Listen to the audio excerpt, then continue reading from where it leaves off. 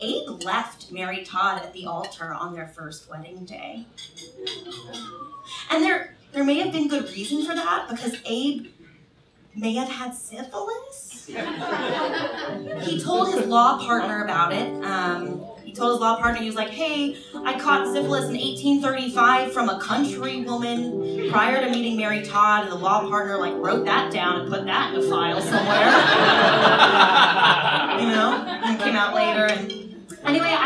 like if I were Abe and I were trying to introduce myself to like a prospective partner, like how would I do it? Would I try? I think I'd be I try and be really chill about it. I try and be like really sly. I, kind of be like um, hey little girl, is your daddy home?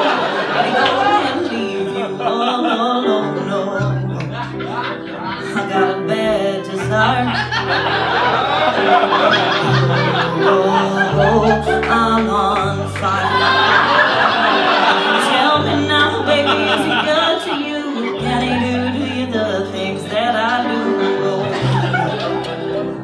Can take you higher, cause I'm six four.